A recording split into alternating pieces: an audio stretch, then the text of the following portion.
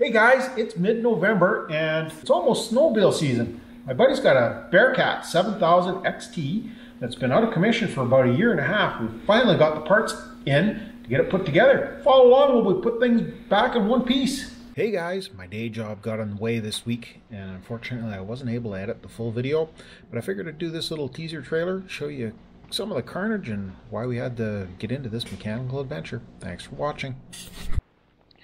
What happened to this machine was uh, the WR3 oil that is typically used in these transmissions wasn't available at the local dealership and they offered him the uh, ACT oil as a substitute. Told him everything would be wonderful and uh, well, that obviously isn't the case.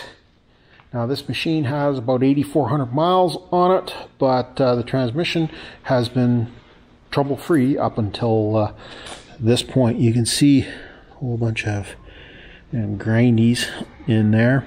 And I don't know whether you can pick it up or not. Down in there, a bunch of balls are missing out of that ball bearing. And if we come up here and look, you can see there's been a whole bunch of damage to the uh, teeth in that uh, on these gears. Basically, this uh, this transmission is pretty much a pile of junk now, unfortunately.